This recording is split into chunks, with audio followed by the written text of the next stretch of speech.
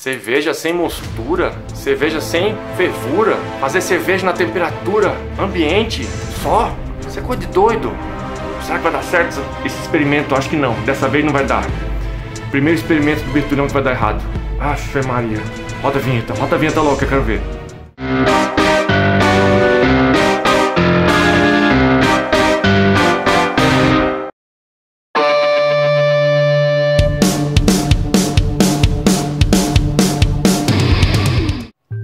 Bem-vindos novamente a mais um vídeo do Bertulhão, nesse canal maravilhoso que está conquistando os corações dos cervejeiros caseiros. Gente, hoje vou fazer um experimento, experimento baseado em outro experimento de um colega nosso aqui de Brasília, Marcelo Fenol, do canal Fabricar Cerveja. Muito interessante o canal dele, inclusive, ele tem um curso online. Estou fazendo uma propaganda aqui de graça, porque mais do que ele é bom mesmo, ele é muito legal. Já valeu minha cerveja, né? Se lembra? Da English Bitter? Pois é, ele, com essa modinha da Kvike, de fazer cerveja na temperatura ambiente, as pessoas estão fazendo direto e não precisa de geladeira, não sei o que, tal, não sei, sabe? Sim, é uma modinha que vai morrer como qualquer outra modinha, né? Mas facilita, facilita. Depende de tudo da cerveja, né? Já tive outros experimentos aqui, que vou, vou botar logo em seguida, que não combina muito com qualquer estilo não, que vai aqui não, viu? Cuidado. Mas isso deixa para os próximos capítulos. O que, que vou fazer hoje? Vou fazer uma cerveja a frio, sem fervura, sem mostura, como assim, Bertulhão? Como assim? Tem que ter fervor, tem que ter mostura. Como é que vai pegar amargor? Não vai ter isomerização do alfa ácido? Sem fervura? Vai ficar amarga a cerveja? Não sei. Esse Marcelo Fenol, ele faz uns experimentos com cerveja a frio. Ele pega só água, bota extrato seco de malte, bota o lúpulo e taca a levedura que vai e deixa na temperatura ambiente. Dá uma chacoalhada e deixa na temperatura ambiente. Aí depois sim, a cerveja vai fermentar, porque tem açúcar do extrato seco de malte, o DME. O amargor vai pegar, vai, vai pegar menos, vai pegar menos. Por isso você tem que botar bem mais lúpulo. Mas por que, que o amargor vai pegar se não tem fervura? Não tem isomerização do alface? Ah, mas tem os outros compostos da, do lúpulo. Tem o beta-ácido, tem os óleos. Isso tudo vai ficar lá na, no mosto. No mosto, né? Mosto frio. Na teoria, dá amargor, dá sabor e dá aroma. Porque na verdade é um dry hop, né? Só um dry hop. Você taca o lúpulo lá e deixa rolar. Mas enfim, os experimentos do Marcelo Fenol, ele fala que a cerveja fica muito boa. Será que fica boa mesmo? Vamos fazer. Nossa receita vai ser uma IPAzinha, vai ser só o extrato seco, um lúpulo e a levedura que vai. Na verdade, eu usei a lama da minha receita da New England IPA, da Niplosion, do vídeo bem anterior. Qualquer coisa vocês vêm, vocês vêm aqui na Neplosion. Lá eu peguei um pouquinho de lama, taquei lá no, no mosto frio e será que cerveja? Então vamos para a receita. Olha, vai ser uns vídeos muito longos, viu? Muito longos. É muito difícil fazer cerveja frio, vocês vão, vocês vão ver. Muito difícil fazer essa cerveja. Roda logo a edição da receita e depois a gente fala.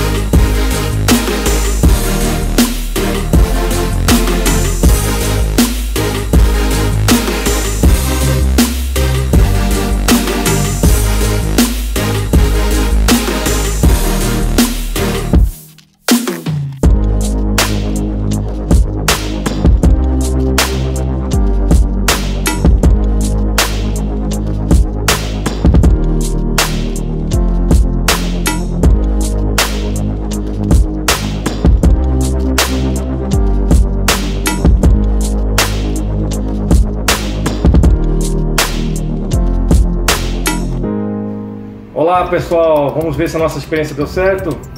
Será que precisa realmente de mostura, de fervura para fazer uma cerveja? Vamos saber agora. Olha só aqui. Não fiz rótulo, tá, gente? Não fiz rótulo porque isso aqui é um experimento, né? Isso aqui foi usado lama de levedura, não foi feito mostura, não foi feito fervura. E vamos ver o que que dá. Ó, aproveitando para apresentar novas garrafas que a gente vai trabalhar agora, né, no nosso canal. Não vamos trabalhar mais com, com garrafa de vidro. Garrafa de vidro é muito pesada, muito trabalho para fechar. Isso aqui é só enroscar, pegar uma garrafa amba PET de qualquer marca. Isso aqui no caso da fábrica da cerveja, né, do nosso parceiro. Será que carbonatou? Vamos ver. Olha lá, atenção. Com certeza carbonatou, né, gente? Olha lá. Será que deu certo nosso nossa experiência? Cerveja frio, gente? Ah, fé.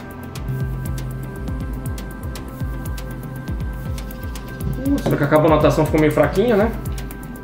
Acho que eu tenho que fechar mais essa garrafa aqui. Mas vamos ver o que que deu. Vamos lá. Ó, a cor. Vocês viram que a gelatina funcionou perfeitamente, né? Vamos punhetar o copo aqui para vocês verem. Todo cervejeiro tem que saber punhetar o copo para ficar bem clarinho, né? Ó lá. Claríssimo, né, gente? Olha. Ou seja, você fermenta na temperatura ambiente, sem fervura, sem mistura, usando só extrato seco de malte, lúpulo sem fervura, só tocar uma caixinha para 5 litros é muito uma caixinha, né? Mas será que fica muito amarga? A aparência tá de cerveja boa, né? Tá pouco carbonatado porque não sei ainda usar essa garrafa, mas vou saber usar depois. Vamos ver se ficou boa? O cheiro tá de um, mal, de um, de um, de um lúpulo assim, da citra. Muito bom, cara. Até parece que foi feito dry hopping. E mais ou menos só foi feito dry hopping, né?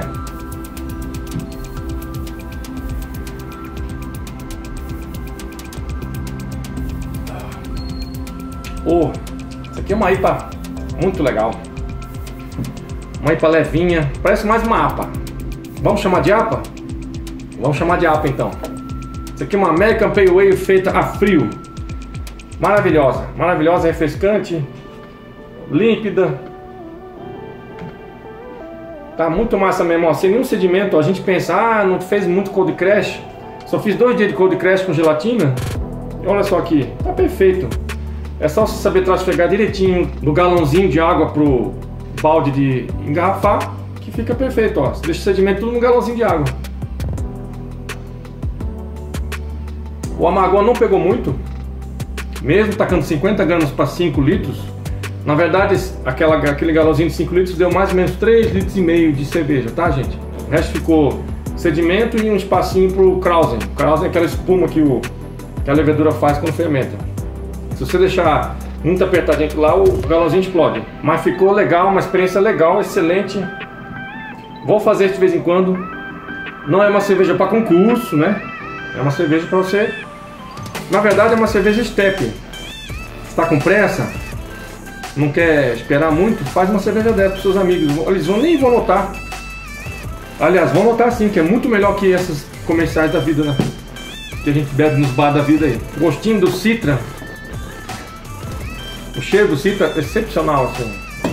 Parece uma cerveja comercial com muito da roupa, mas, mas o amargor não pegou, ficou bem levinha. O corpo, o corpo também não pegou muito. Talvez se você acrescentar um pouquinho mais de extrato seco, bota em vez de 500 gramas de extrato seco, bota 650 gramas de extrato seco. Vou fazer isso nas próximas vezes. Será que vai dar certo? Não sei, vamos ver. Ó, mas está aprovado, maravilhoso. Esse método eu vou usar quando o meu equipamento, meu equipamento de refrigeração tiver sido ocupado por outras cervejas, né? Com fervura e com mostura, cervejas mais sérias, vamos dizer assim, né? Mas esse aqui não deve nada. Esse aqui a gente bebe num churrasco perfeitamente, muito melhor do que as escolas Antártica, Brahma e Itaipava da vida. Isso aqui é muito melhor. Fica um pouquinho mais caro? Fica. O extrato malte, de malte seco, aqui em Brasília está 40 reais o quilo. Sendo que um malte de boa qualidade está 10 reais, 12 reais o quilo, entendeu? Se você usar um malte um pouco menos de qualidade, então você acha até por 7, 8 reais o quilo. Ou seja, um malte aqui fica, fica quase 4 vezes mais caro. Você não vai fazer 100 litros, né gente? Você vai fazer só uns 4. uns 5 litros. Você vai usar só um pacote. Essa, essa receita aqui, o que, que eu gastei? Gastei 20 reais, 500 gramas de malte. Gastei 29 reais com lúpulo citra, porque eu peguei um lúpulo bom. Se eu pegasse um lúpulo mais ou menos, ia ser talvez 20 reais, né? Então essa receita você faz a partir de 50 reais. Só com o extrato de malte e com lúpulo. A levedura, aqui eu não gastei, porque usei lama da outra receita, da, da New England IPA, né, do Tulhão, a Neiplosion. Mas se você usar uma levedura para fazer isso aqui, você vai usar um terço de pacote. Vamos dizer que uma levedura está 30 reais, você vai gastar 10 reais então para fazer essa cerveja. Então essa cerveja, na real, ficou 20 reais com extrato de malte, 30 reais o lúpulo e 10 reais a levedura, 60 reais. E você faz entre 3, vamos chutar 4 litros, porque eu botei muito trube, né? Botei muita lama. Mas se você usar uma levedura limpa, vai ser uns 4 litros de cerveja. Vai ficar 12 reais e 50 litros. 12, 12 reais e 50 litros. Onde é que você pega uma IPA, uma APA boa no, no, no, nas cervejarias da vida? Você não pega. Você vai pegar 20 reais o copo de 15 ml, vai ser uns 40 reais o litro. Então ainda vale a pena, mesmo sendo mais caro que o método tradicional, ainda vale a pena fazer uma cerveja nesse método frio. E vou falar para você, gente, não deveu em nada, não deveu em nada. É um tipo de amargor diferente, é um tipo de amargor diferente. Porque não tem isomerização do alfa ácido na, na, na fervura. Mas é um amargorzinho assim, provavelmente do beta ácido, da oxidação. Mas é um amargor assim, maravilhoso, muito bom. Não dá rastro, não dá nada, mas é bem fraquinho. Isso aqui não, provavelmente não vai ser uma cerveja para double IPA, a não ser que você bota 100 gramas de lúpulo no quarto litro, né? Aí o dinheiro é seu, a carteira é sua. Mas ó, aprovado, experimento aprovado do Bertulhão. Faz só 4 litros, não vai fazer sujeira nenhuma lá, sua mulher não vai encher o saco, sua, sua mãe não vai encher o saco, ou onde você mora, né, seu namorado não vai encher o saco, né, enfim, hoje em dia.